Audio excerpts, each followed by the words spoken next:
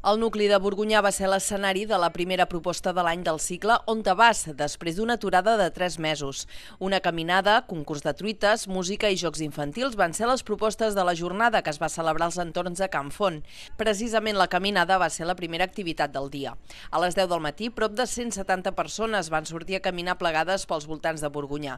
Aquesta va ser una passejada amb històries i és que alguns dels veïns del municipi van anar acompanyant la ruta d'explicacions i anècdotes, fent reviure els records d'alguns espais de la població, com l'antiga fàbrica tèxtil que veïns del poble ens han explicat um, una mica el circuit del Terri, ara ens estan explicant el molí com funcionava i hem anat a la fàbrica tèxtil, que ho hem gaudit molt perquè era una fàbrica tancada i molta gent hi ha treballat i ha sigut un retrobament d'històries.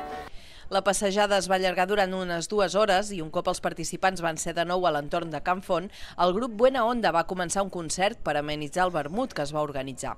A més, es van poder tastar les truites del concurs que hi havia convocat. El jurat va premiar la truita més original, la més gustosa i la truita amb millor presentació. A la tarda van continuar les propostes a partir de les 5 i fins a les 7.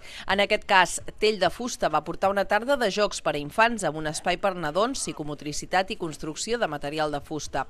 A més, la tarda es va completar amb una xocolatada per tots els assistents. Recordem que el cicle On Tabàs va néixer amb l'objectiu d'acostar la cultura a tots els pobles de la Vall del Terri i posar en valor el patrimoni de cada nucli. La d'aquest cap de setmana va ser la quarta proposta del cicle, que va començar el mes de setembre amb un concert a Santa Llogaia del Terri i va continuar l'octubre amb dues propostes més, la visita al castell de Rebost del Terri i la primera jornada Sordibus medieval a Sors. On Tabàs continuarà amb més propostes fins al mes de maig.